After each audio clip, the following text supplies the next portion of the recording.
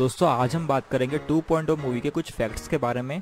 दोस्तों, ये movie robot movie का सीक्वल है, जो कि आई थी 1 अक्टूबर 2010 में। और दोस्तों, उस टाइम की सबसे ज़्यादा बजट की मूवी थी रोबोट और दोस्तों, उसके बाद अगर हम बात करें तो 2.0 मूवी जो आ रही है, वो 450 करोड़ रुपीज़ की मूवी है।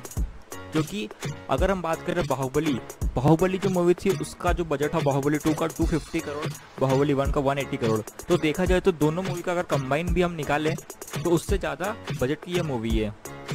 इस मूवी को डायरेक्ट और रिटर्न दोनों एस शंकर ने किया है। दोस्तों, ये मूवी जो है, चार बार पोस्टपोन हो चुकी है। इसकी जो ऑफिशियल डेट आई थी 27 अप्रैल वो भी निकल चुकी है। तो दोस्तों, अब देखना होगा कि कब ये मूवी रिलीज़ होती है। दोस्तों, ये मूवी काफ़ी जल्दी हमारे बीच आने वाली है। ये एक टॉलीवुड मूवी है, जो कि एक साइंस फिक्शन मूवी है। और दोस्तों, अगर इसकी बजट की बात करें तो नाइन से सबसे ज़्यादा नॉन हॉलीवुड मूवी है, जिसका बजट इतना ज़्यादा है। दोस्तों, इसका जो म्यूज़िक है वो दिया है ए आर रहमान ने और इस मूवी के लीड रोल में है रजनीकांत, अक्षय कुमार एमी जैक्सन दोस्तों ए शंकर की जो मूवीज़ आई है अभी तक, जैसे अगर हम बात करें शिवाजी द बॉस आई और रोबोट जैसी मूवीज़ की तो दोस्तों ये मूवी काफ़ी एंटरटेनिंग होती है, क्योंकि इनमें वीएफएक्स का यूज़ बहुत ज़्यादा होता है, साथ ही ये काफ़ी ज़्यादा बजट की मूवीज़ होती है। दोस्तों, इस मूवी में जो डॉक्टर रिचर्ड का रोल है, वो इतना ज़्यादा नेगेटिव है कि इस रोल को करने के लिए सबसे पहले आमिर खान, कमल हासन और विक्रम से कहा गया था। लेकिन उन्होंने साफ़ तौर पर इस ऑफ़र को ठुकरा दिया और फिर इसके बाद ऋतिक रोशन और नील नितिन मुकेश को भी ये ऑफ़र दिया गया था एस शंकर ने पर उन्होंने इसे बहुत ज़्यादा नेगेटिव लेते हुए रिजेक्ट कर दिया क्योंकि ये ऑफ़र उन्हें सूटेबल नहीं था। इसमें टाइम बहुत ज़्यादा लगता था मेकअप के लिए। तो दोस्तों, इसके बाद एस शंकर ने यह ऑफ़र दिया अक्षय कुमार को और उन्होंने इसे एक्सेप्ट कर लिया, क्योंकि उन्होंने इस ऑफ़र को पॉजिटिव लिया। इस ऑफ़र को करने के लिए उन्हें बहुत मोटी रकम दी गई है, जिसका प्राइस है 80 करोड़ रुपए। 80 करोड़ रुपए दिए गए हैं अक्षय कुमार को इस रोल को करने के लिए, जो कि एक पूरी मूवी का टोटल बजट होता है। दोस्तों, इस मूवी के प्रोड्यूसर है सुभास्कर अल्लई राजा, और ये मूवी कुछ कुछ इंस्पायर है द अमेजिंग स्पाइडरमैन से। अगर हम मूवी की स्टोरी की बात करें तो इसमें डॉक्टर रिचर्ड जो कि एक साइंटिस्ट है, वो अपने ऊपर एक खतरनाक एक्सपेरिमेंट करते हैं और उसके बाद उनके अंदर कुछ पावर्स आते हैं, वो लोगों को मारने लगते हैं। और दोस्तों, अगर मूवी का सस्पेंस हम बनाए रखना चाहते हैं तो आप मूवी जाकर देखिए। स्टोरी के बारे में हम ज़्यादा बात नहीं करते हैं। दोस्तों, ये पहली ऐसी मूवी है, जो कि सीधे थ्री में ही रिकॉर्ड की गई है। इसकी शूटिंग थ्री में हुई है। जबकि दोस्तों, जितनी भी अदर्स मूवी आई है, जैसे कि हॉन्टेड थ्री या क्रिएचर थ्री और पद्मावत टाइप की जो मूवीज़ थी, इनमें वर्चुअली बाद में थ्री इफ़ेक्ट इसमें जनरेट किया था, जबकि 2.0 में शूटिंग ही थ्री कैमरा से हुई है, जिसके अंदर जो कैमरा यूज़ हुए है कैमरे के अंदर वर्चुअल कैमरा टेक्नोलॉजी यूज़ करी गई है।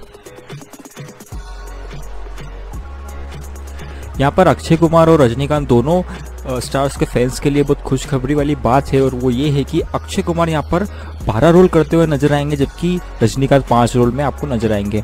दोस्तों, इससे पहले ऐसा कभी नहीं हुआ कि एक कैरेक्टर इतने ज़्यादा रोल्स प्ले करता हुआ आपको नज़र आए। दोस्तों लाइका प्रोडक्शन में बनने वाली इस मूवी में अक्षय कुमार को मेकअप करने के लिए छः घंटे का टाइम लगता था। यानी कि अगर दोस्तों, मान लीजिए सपोज़ 12 बजे अगर शूटिंग चालू होना है तो अक्षय कुमार को सुबह छः बजे वहाँ पहुँचना पड़ता था, ताकि छः घंटे वो मेकअप करवा सके। दोस्तों, एस शंकर ने इस मूवी में डिफरेंट डिफरेंट फ़ंक्शन के लिए अलग अलग टेक्नीशियन टीम बुलाई है, जो कि बुलाई गई है पूरी दुनिया से। फॉर एग्जांपल एक्शन के लिए अलग टेक्नीशियन टीम है कॉस्ट्यूम के लिए अलग टेक्नीशियन टीम है। और दोस्तों, ये जो टेक्नीशियन टीम है वो पूरे वर्ल्ड से आई है।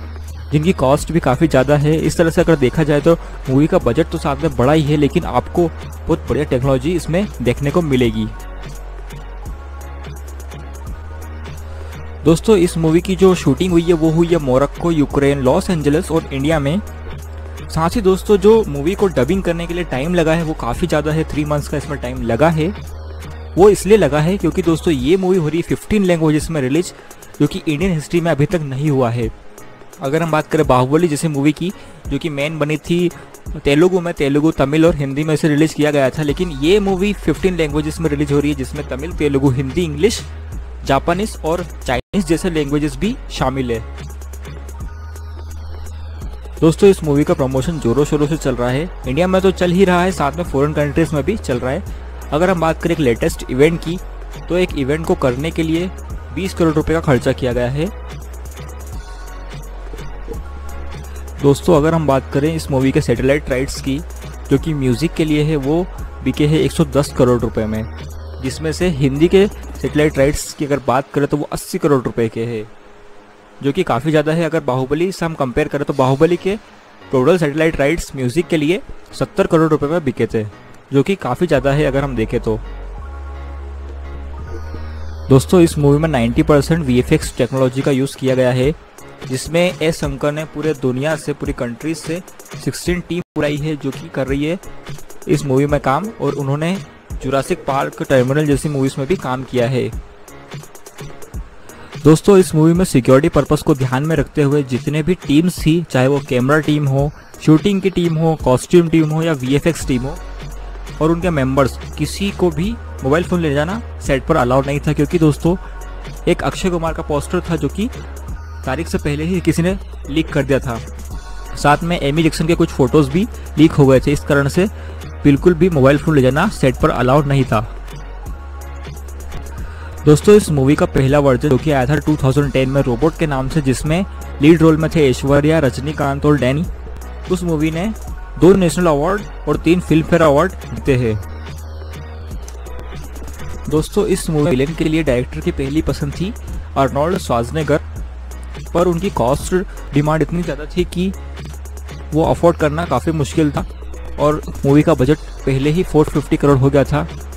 तो इस तरह से ये ऑफ़र फिर अक्षय कुमार को दिया गया और उन्होंने इसे एक्सेप्ट कर लिया। दोस्तों, यह मूवी एशिया की सेकंड लार्जेस्ट बजट मूवी है, जिसका बजट है 450 करोड़ रुपीस साथ ही यह मूवी रिलीज़ हो रही है इंडिया में 7000 स्क्रीन पर, साथ ही चाइना में रिलीज़ होगी 10000 स्क्रीन पर।